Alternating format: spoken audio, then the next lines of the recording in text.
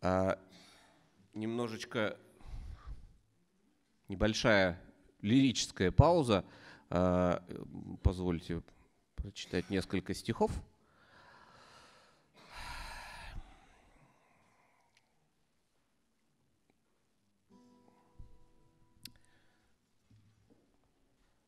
А, у меня очень редко получаются, к сожалению, юмористические стихи. С чувством юмора все нормально, а вот в творчестве как-то вот не получается.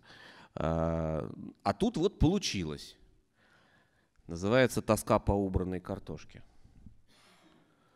Когда на улицу и кошку гнать не поднимется рука, тоска по убранной картошке вдруг нападет на мужика.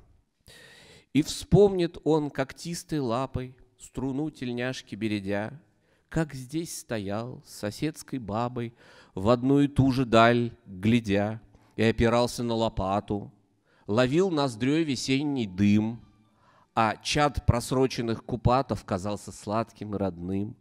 В глаза и уши лезла мошка, пот Ниагары лил с лица, он верил.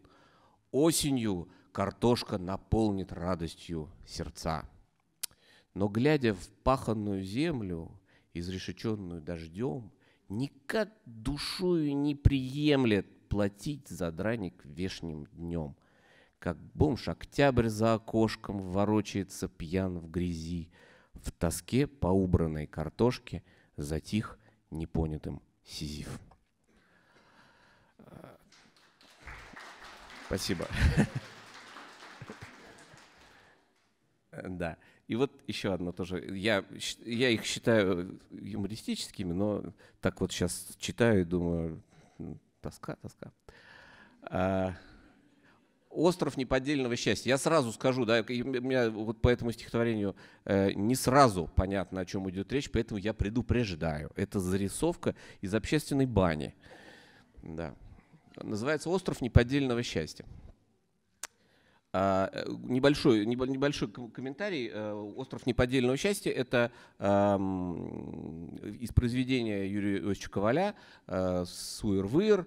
Там это остров, на котором все-все-все самые лучшие московские бани размещались. И вот, то есть остров неподдельного счастья, смысл именно такой, что это вот такой банный кайф.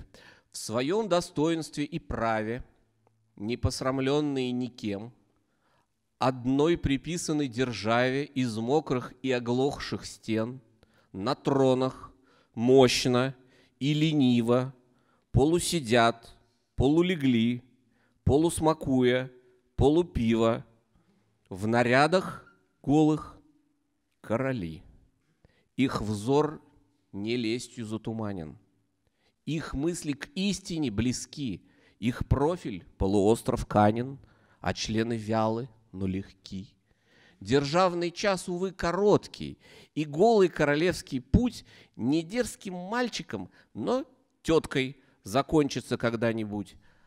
А на другом от счастья края, столь неподдельного, увы, в самообмане, что легчает, одетые сидите вы.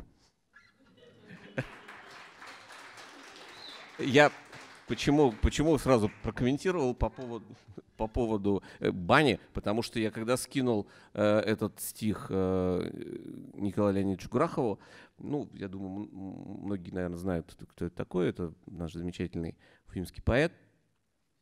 Он сказал, что-то ты мне политику какую-то пишешь. Я говорю, нет. Как бы вот, а, тогда да, тогда нормально.